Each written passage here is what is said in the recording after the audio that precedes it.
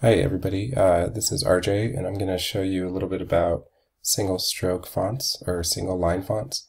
Um, I grabbed a couple of fonts off of this site uh, right here and I'm going to show you how they work in Rhino. So over here in Rhino I have a uh, three fonts um, that are single stroke fonts and as you can see in this uh, file here they they work fine they look uh, they look great. You have all your curves that you can just select. Um, and then there's a couple up here that are not really working. Um, they also show two curves to show kind of the outline of the font. And in this one, um, you see breaks in the font itself.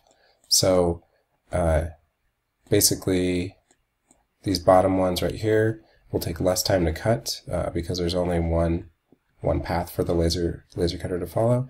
Um, and the top one will take more time to cut because there's twice as many paths. Uh, basically, how you get to entering these in a file is you use the text object,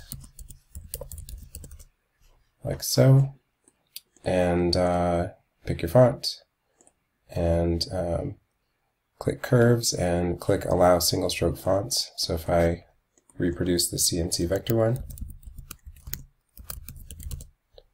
and go find it in my list here, CNC Vector. You can see the preview and you click this one, set the height and hit OK, and then you can place this wherever you want it.